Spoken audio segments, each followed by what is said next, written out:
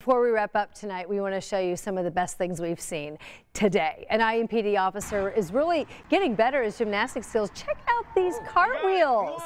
This is new video posted by IMPD's Northwest District. It shows the officer Jordan Hoffman doing a cartwheel in front of kids with another officer.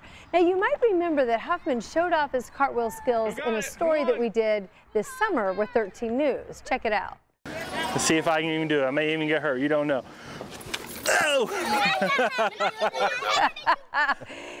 Uh, you know, the officer told us he likes to get to know the families and kids in the neighborhood where he patrols, and we know he must be practicing, because look at that. His cartwheel has gotten a lot better in just a matter of weeks. Uh, he's exponentially better than me. That's right. Me. and to do that in full uniform is, yeah. is notable. Yeah.